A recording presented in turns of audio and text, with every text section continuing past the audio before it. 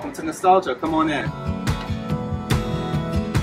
So Nostalgia opened up in 2016. This was actually my business plan my senior year in college. I graduated from Virginia Commonwealth University in their fashion merchandising department.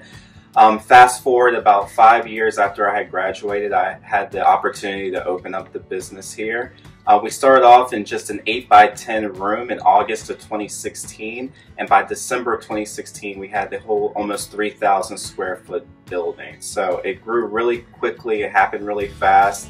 Um, currently, we have two floors of vintage and antique um, clothing that ranges from like the 1920s up to the early 1980s. We also have antique furniture and home decor as well.